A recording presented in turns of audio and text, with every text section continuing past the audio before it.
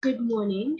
Welcome to uh, the throne room, the Azania edition, the iconic, international and indispensable Queen Mother. Um, as you all know, it was really touching how very few people know about African states. So I decided to do something about it and just stimulate people's minds and get them, you know, using Google to research about African states. Right, so this week, the country that we're going to be having a chat about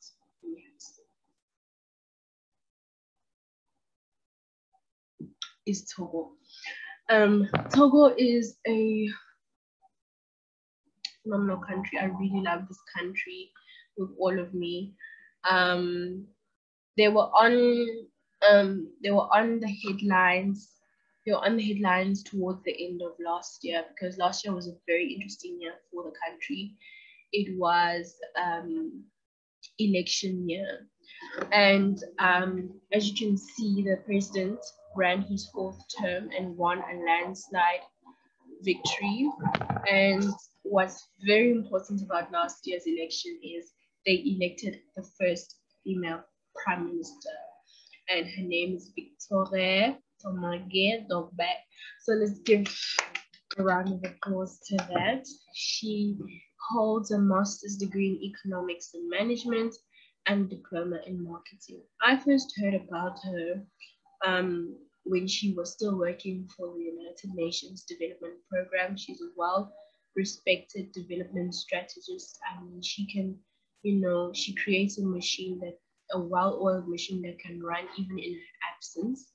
Um, she was chief of staff of to- to the Togolese uh, president, and she was also she was also director general, and she also has served the country as minister of youth and grassroots development. Obviously, I mean, with her expertise, she's a very she's a key asset to the country.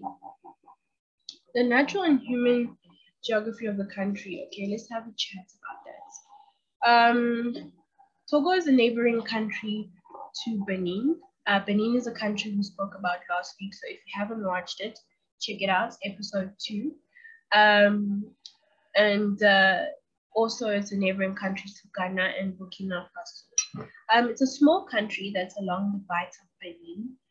Um, and the features that, you know, when you go to the country, you need to look out for is Lake Togo, the Togo Mountains, the Mono River, the Okachi Plateau, and the Dauphin Cliffs. The capital city of Togo is Lome. It's a coastal city. And there's five regions that are administrative regions, and that's the Central, the Kara, the Maritime, Plateau, and Southern. Okay? Very little English is spoken in, in uh, Togo.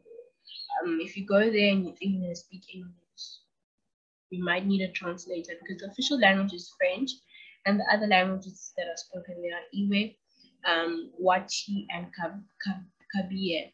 Um, what you also need to know, Togo is actually not a French name. It's an, it was named after Ewe language and it means water shoe. Right, I got your feedback last week. I know I get carried away and I really, really like think it's important to know um, the history of something so you know where it's going and understand its behavior now. But and we're not diagnosing the country, right? We're not giving a political analysis. So I'm not gonna go into great detail. I'm gonna just give you something brief, like I promise to be brief. Um, what you need to know is um, Togo became independent in 1960. And uh, the first president of the country is Sylvanus Olympio. He was assassinated two years into his reign as president. Moment of silence. And uh, he had an interim leader in his place, and that was Nicolas Grunitzky. Uh, Nicolas Grunitzky then was uh, pushed out by Gnassingbe Adieme, Eyadema um, in 1967. In a bloodless coup, no violence, no, they just took him out um, as president, and uh, reigned over the country. And, and a notable thing that he did in his presidency was nationalize phosphate. Just nationalized phosphate. Now remember that. And in 2003, when he was supposed to, you know, you can't have his second term, he challenged the constitution and uh, he became president for his third term. Unfortunately, in 2005, he passed away um, at age 69, and the military then put his son, Faure Gnassingbe, um, as president, and Faure has been president ever since 2005.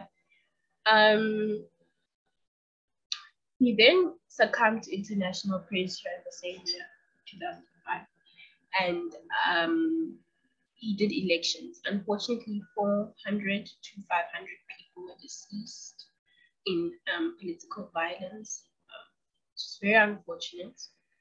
Um, and then um, he followed in his father's footsteps. In 2019, he managed to challenge the constitution and extend his presidency till about 2030. So we might still be talking about him as president of the country. But one great thing that he did was he let his opposition leader um, in one of his uh, elections um, be a prime minister. That was a noble thing to do. Um, the politics of the country is very interesting. On, on paper, we could say that it is a presidential republic because the people do vote. But the way things are, like could say it's a monarchy because, um, you know, when, when someone dies, you put in their son. It's sort of like a monarchy, but actually it's a presidential republic in, in on paper. They have an executive, which is uh, the head of state, who's the president, head of government, which is the prime minister, and then you have um, a cabinet of ministers who work with the president and the executive, excuse me. And um, they have a legislative branch, which consists of 91 seats, um, and uh, a judiciary, judicial branch that has the Supreme Court and Constitutional Court.